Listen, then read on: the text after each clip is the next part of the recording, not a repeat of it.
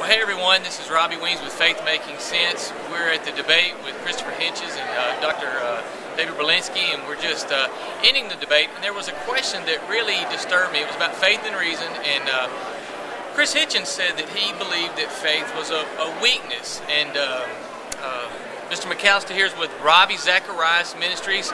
Is it rzm.com or .org? rzm.org. .org.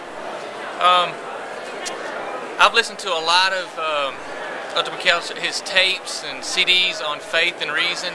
Could you elaborate on exactly what the relationship is on faith and reason and maybe you know, Anselm said, you know, I believe in order that I may understand, not understand what I believe. Could you help with that just for a moment? Well, sometimes these phrases are used as sound bites without giving any definition. Right. What do we mean by reason? What do we mean by faith?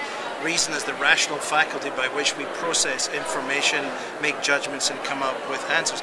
Faith is not, as is being implied here, like a blind leap into something in the absence of information.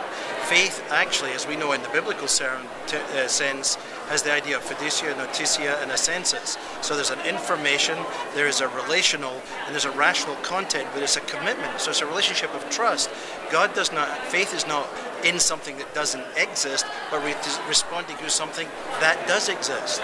So faith and reason are not antithetical, they are partners. Right. So the whole idea that you could set some kind of a conflict, now there is a type of faith, there's a type of use of faith where people think you switch off your brain, switch off your reason. Right.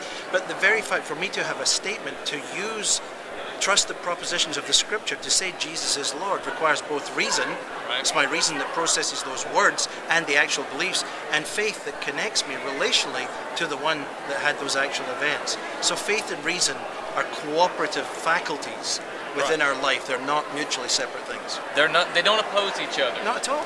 And um, would you say that our faith is in an authority, and we use reason to establish that authority? Well, th- when we see it again, it's defining terms. Okay. Many years ago, Dr. Schaeffer, Francis Schaeffer, right. said, He is there and He's not silent. Right. If I have faith in the pink fairy, that's right. not faith. That's blind trust in nothing. There okay. is no pink fairy. I can only have faith in something that is truly there.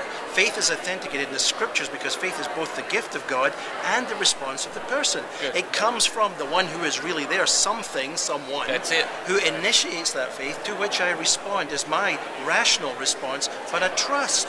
So again, it depends on definition. You can use anything with words. Some people are using in a, a, sense, a kind of distortion of a Kierkegaardian understanding right. of faith as a blind leap. But even Kierkegaard didn't mean that. What Kierkegaard meant was that we come through stages of existence till we, we try the ethical, the aesthetic life, and it, it comes to a point and we move from an either or choice into what he called an ethical life. That then brings us up to another level of choice in which there is something higher than ethics. We don't know what it is, and there the leap of faith is that is there something out there, but when you knock on the door, something opens and answers. Wow, that is great. I hope that really helped because that is such an important part, and sometimes these things are just not explained. RZM.org, if you want more of these teachings, you can go on there and find it. Thanks so much.